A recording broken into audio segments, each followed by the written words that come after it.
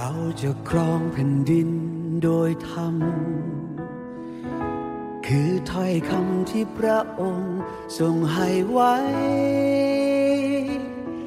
จึงแสนจะโชคดีที่เกิดเป็นคนงานของผมเป็นเรื่องของไอ้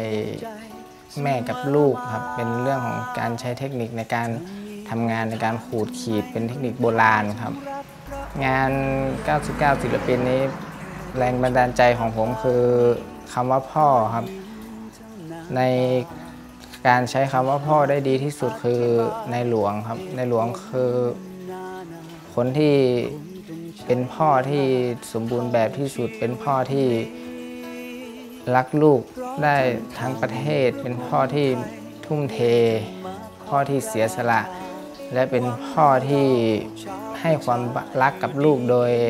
ไม่หวัง ผลตอบแทนอะไรครับ เป็นความรักที่ยิ่งใหญ่ที่สุดครับ เป็นผมเลยนำมาสร้างเป็นแรงบันดาลใจในการสร้างผลงานชิ้นนี้ครับ